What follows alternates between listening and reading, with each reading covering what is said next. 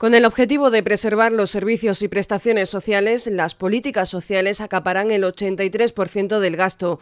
Ello representa un incremento del 1,4% respecto al ejercicio anterior, en contraste con la actual tendencia de apelar a los recortes sociales como única solución. La educación será el centro de la política económica en el año 2012, con 7.615 millones de euros, un 2,5% más.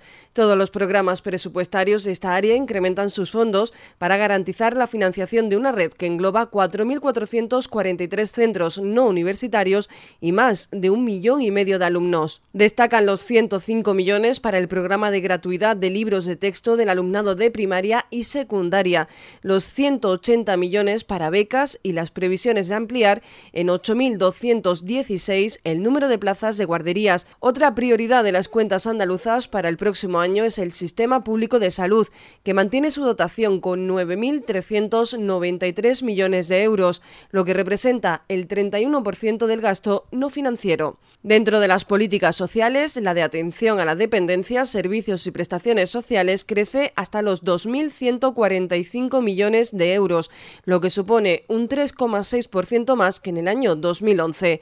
En esta área destaca la atención a las personas dependientes. Junto con el mantenimiento de las prestaciones sociales, el otro gran eje estratégico del presupuesto lo componen las políticas para reorientar el modelo productivo y promover el crecimiento del Producto Interior Bruto potencial y el empleo.